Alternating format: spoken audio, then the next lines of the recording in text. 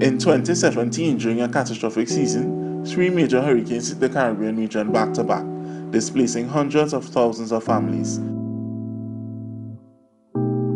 Many have not yet recovered with this year's season drawing near. We anticipated a hurricane, but this was beyond our imagination. So directly after the hurricane was communication in water and um, food came next, of course. As entrepreneurs working in human-centered fields, we understand that solutions work from the ground up.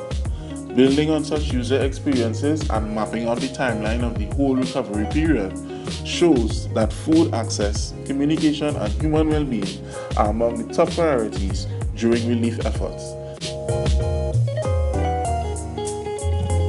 These issues worsen over time, leading to a lengthy recovery period. Therefore, we have designed the ARC, the Agri Recovery Kit.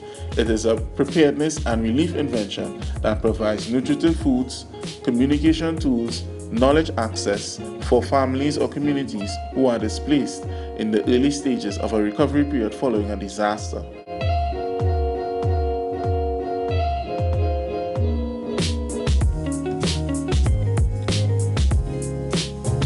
Our kit is low cost, locally sourced, and the first of its kind in our region to be both solution oriented and humanitarian.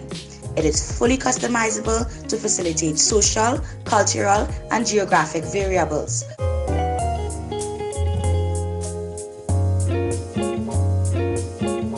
Our model allows a multitude of revenue streams as a commercial product for disaster preparedness, but also as a complementary outlet for relief agencies and support groups.